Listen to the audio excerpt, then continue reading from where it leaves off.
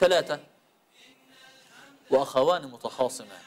يا الله. وهي دي بقى دول ده موضع آه. مربط الفرس في موضوعنا. أيوه قصة إن الناس تبقى شايلة من بعض ومقاطعين بس بعض. اخوان المتخاصمين ليس المقصود بها الأخ لا، الشقيق لا، ولكن مش الشقيق. الإخوة في الدين ده أو- الشقيق آه. يبقى أشد لكن آه. هو الأخوة العامة. نعم.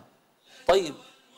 وأن حديث آخر يقول النبي صلى الله عليه وسلم أن الأعمال ترفع إلى الله يوم الاثنين والخميس. نعم. فيقبل كل عمل أي. إلا عمل المتخاصمين. يا الله.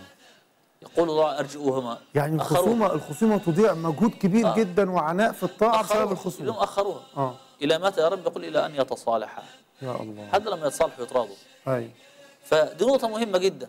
قضية أن الإنسان يعيش بقلب نقي بين الناس ويصفي ما بينه وبين الناس أمر آه، يعني يضمن به الإنسان الجنة.